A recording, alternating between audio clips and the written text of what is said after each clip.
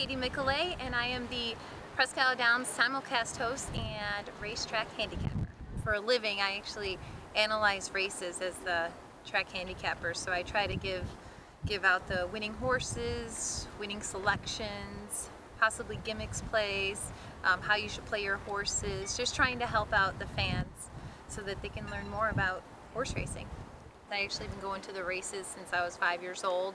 Um, you see kids out here every day coming to the races and I was one of them and that's why my biggest fans are the children. I love when they're coming around and asking about the horses. To get more younger people involved, you know, I, I like to think my, I'm still pretty young and I have enjoyed the sport I don't, for as long as I can remember, but um, I just I think when you're 20 something, I think it's a great thing to do to bring your family and friends out with you, particularly your friends, you know, at the same age. I think it's a fun thing to get a drink in your hand, you have the program in one hand, and you all have make bets, and you all can go in on bets together too. You can play the pick four, the pick six, dress up. I encourage ladies to dress up to, you know, get in your best dresses, your best, you know, sundresses, or if you want to get a little bit higher up and just get really fancied out, wear your fancy hat.